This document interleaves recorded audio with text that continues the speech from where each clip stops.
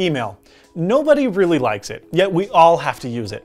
Most of us use it daily. After years of signing up for services, accidentally leaving the newsletter box checked through checkout, etc., our inboxes get mighty full with total crap. Yet, since these spammy emails come from real legitimate companies like Amazon, Apple, and the like, it doesn't ever hit our spam folder, rather it goes straight to our inbox.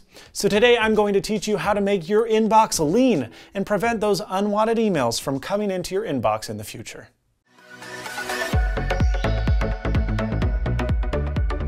The first step to eliminating unwanted email subscriptions is through an awesome service called Unroll.me. Navigate to Unroll.me by following the link in the video description. Now, Unroll.me is free and it works across all of the major email providers. Click Get Started, and then you'll have to enter your email. You'll probably be prompted to enter your email service password as well. Don't worry, the password is stored securely, but you can also delete your Unroll.me account at any time if you so desire.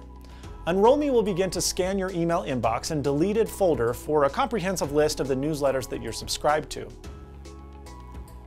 To the right of every subscription, there are two buttons. There is the unsubscribe button, which will remove you from the mailing list completely, and that's the one that I'd recommend, though there is also a button called Add to Rollup. This takes all of the spammy newsletters and combines them into one email that Unroll.me will send you daily. Now this could be handy if you want a little digest of a few shopping websites that you'd like to keep under your radar without being bombarded with multiple emails each and every day. Now Unroll.me will do the majority of the work and should eliminate pretty much all of your subscriptions. Now to the important part, making sure that this kind of fluff never happens again. Now, as a general rule of thumb, you should never use your actual email when signing up for new services. Weird, right? You can if you know that it's going to be a website that you'll use in the long term, but instead you should use an alias.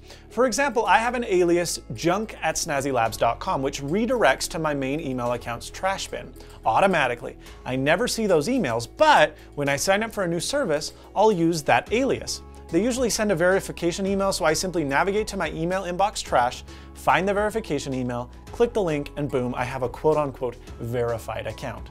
Now, most services will allow you to set up an alias in your email settings account, but Gmail is a little bit different.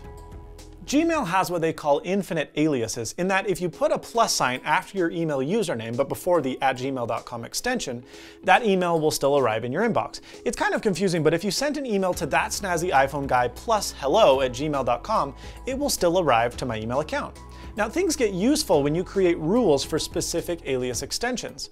For example, if I navigate to the browser-based Gmail client, in the search field, I can type the email address that I want to use for future newsletters. So I can type, let's say, to colon parentheses, that snazzy iPhone guy plus junk at gmail.com, and then I'll end the parentheses. Then I click the small down arrow and click create filter with this search. When the message arrives, I can auto-archive it and mark it as read. That way, you'll still have access to those verification links or newsletters that you may need access to at a later date. But they won't disrupt your email inbox, and unless you specifically look for them, you're never going to find them. Doing all of this can take an hour or so, but it is so well worth it in the long run. Now you know how to clean up your email inbox and make sure that it stays that way. If you found this video helpful, we'd appreciate that you give it a like as it makes us more discoverable in the YouTube search.